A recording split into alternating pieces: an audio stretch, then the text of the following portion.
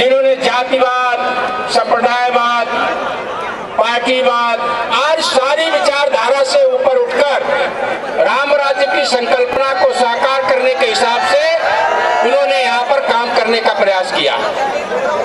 सरकार की जो अवधि की जा रही थी, ऐसा एक वातावरण बनाया जा रहा था कि ऑक्सीजन की कमी है। लोग ऑक्सीजन की कमी में मर रहे हैं। ऐसा वातावरण बनाया जा रहा था और तमाम मेरा एक और सबसे महत्वपूर्ण घोषणा की है कि जैसे बहुजन समाजवादी पार्टी की सरकार में अंबेडकर गाँव विकास योजना चलती थी, इसी तरह माननीय योगी महाराज ने उत्तर प्रदेश के मुख्य बचाओ साथियों, इस तरह के 2017 से पहले की स्थिति थी। आज साथियों कोई भी किसी की मोटरसाइकिल छीनने वाला नहीं। एक बार में लखनऊ 2017 से पहले 2013-14 में मैं गया। तो मैं देखा एक महिला बहुत ज़ोर ज़ोर से चिल्ला रही, मेरी चैन तोड़ ली, मेरी चैन तोड़ ली। लोग उसके पीछे, चोर के पीछे दौड़ रहे थे। लोगों ने उसे खदेड़ के पकड़ भी लिया। है दूसरे हाथ में बुलडोजर का लेबर भी संचालित। सरकार के कार्य से खुश है। माफियाओं के खिलाफ ऑपरेशन की कार्रवाई ऐसे चलनी चाहिए ना। सभी लोग सहमत हैं। सभी लोग भारतीय जनता पार्टी को विजयी बना करके भेजेंगे। कमल चुनाव चिन्ह पर भारी बहुमत से विजयी बना के भेजेंगे। सभी लोग सहमत हैं। आश्वस्त होकर के जाओ।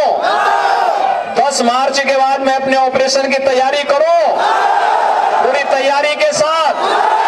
तो पहला काम आपका क्या होगा पहले मतदान फिर जलपान पहला मतदान पहला मतदान सभी लोग सहमत हैं। भारी संख्या में मतदान करेंगे। भारी बहुमत से बीजेपी को जिता करके भेजेंगे। तो मैं आश्वस्त होता हूँ, आप मेरे साथ बोलेंगे, दोनों हाथ ना करके भारत माता की भारत माता की भारत माता की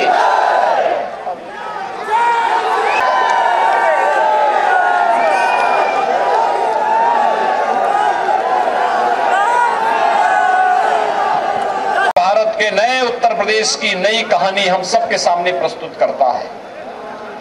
और इसलिए भाइयों बहनों जब आज मैं फरुखाबाद जनपद के भोजपुर विधानसभा सीट में भोजपुर और फरुखाबाद के आप सभी मतदाता भाइयों बहनों से अपील करने के लिए यहाँ पर मैं आया हूँ, मैं आप सबसे ये कहना चाहता हूँ कि 2017 के पहले भी सरकार थी। लेकिन उस सरकार के संकुचित दायरे थे। सोच संकुचित थी। प्रदेश के अपराधीकरण, राजनीति का माफियाकरण और विकास की योजनाओं में डकैती और गरीब के मुँह से निवाला छीनने का, उनकी जो प्रवृत्ति थी, न केवल प्रदेश बल्कि देश भी हैरान था, परेशान था। क्योंकि अंततः उत्तर प्रदेश के विकास का प्रभाव देश पर पड़ता है, देश के विकास की दर पर पड़ता है। और आबादी की दृष्टि से देश के सबसे बड़ी आबादी का राज्य जिस लचर व्यवस्था के साथ कार्य कर रहा था, उसको देखते हुए नहीं लगता था कि कुछ कर पाएँगे और भाइयों बहनों इसीलिए आज मैं आपके बीच आया हूँ आपसे कहने के लिए।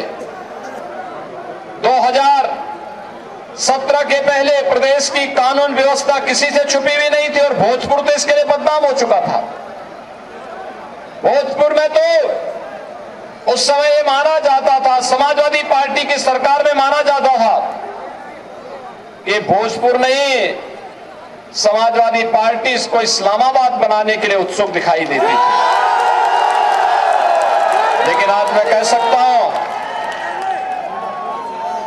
इस्लामाबाद बनाने का सपना देखने वाले लोग आज चारों खाने चित्त हैं, अपने अस्तित्व के लिए जूझ रहे हैं।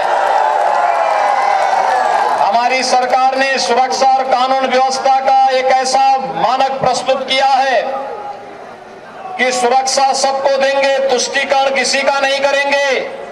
और कानून के साथ अगर खिलवाड़ करने का कार्य करेंगे तो कानून तो निपटेगा ही निपटेगा। कानून के बाद बुलडोजर भी तैयार रहता है।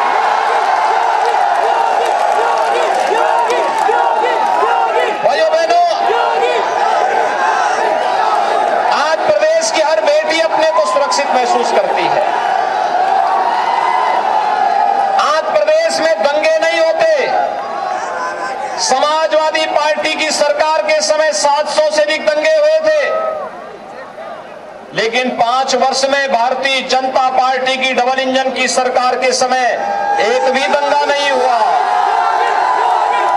पहले दंगे होते थे, कर्फ्यू लगता था, बाज़ार बंद होते थे, व्यापारी त्रस्त रहता था। कर्फ्यू खुलता था, व्यापारियों पर बमबाजी होती थी, तब भी व्यापारी त्रस्त रहता था। आज भाइयों बहनों कर्फ्यू नहीं लगता, बमबाजी भी नहीं होती। आज तो कर्फ्यू की जगह कावड़ यात्रा ने ले लिया है। और बमबाजी की जगह हर हर बम बम के नारा लगाते हुए कावड़ यात्री पूरे प्रदेश के अंदर चलता है।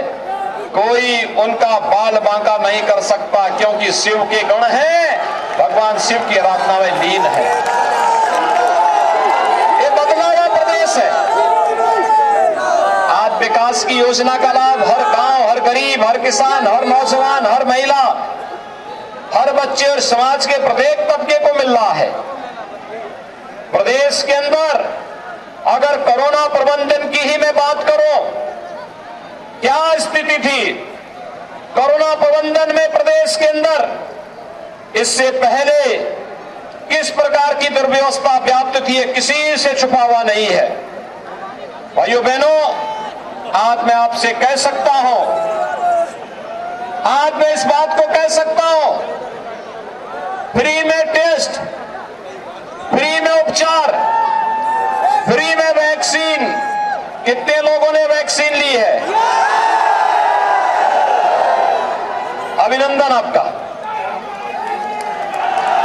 भैया बहनों, ये फ्री में वैक्सीन, आप देख सकते हैं कोरोना की थर्ड वेव में अमेरिका जैसी दुनिया की बड़ी ताकत पस्त है।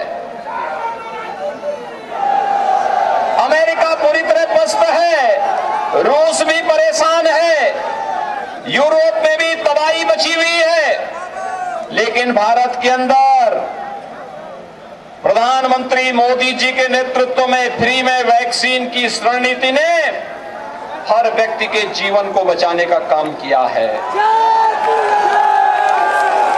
जो लोग दुष्प्रचार करते थे कि वैक्सीन, भाजपा का वैक्सीन है, मोदी का वैक्सीन है, नहीं लगाएँगे। अब तो मैं कह सकता हूँ, उत्तर प्रदेश के अंदर 100 फ़ीसदी लोगों ने पहली डोज ले ली है पिछहत्तर फ़ीसदी लोगों ने दूसरी डोज भी ले ली है। भाइयों, बहनों जो लोग वैक्सीन के खिलाफ दुष्प्रचार कर रहे थे, आज उनको मुंहतोड़ जवाब देने की आवश्यकता है कि अगर हमारी जान को इस मोदी वैक्सीन और भाजपा की वैक्सीन ने बचाया है तो फिर वोट की चोट के माध्यम से दुष्प्रचार हुआ करने वालों को मुंहतोड़ जवाब भी देंगे। क्या आप लोग सभी सहमत हैं? सभी लोग सहमत हैं? और भाइयों बहनों फ्री में वैक्सीन तो दिया ही डबल इंजन की सरकार है। डबल डोज राशन का भी दिया गया है। महीने में दो बार राशन मिल रहा है ना?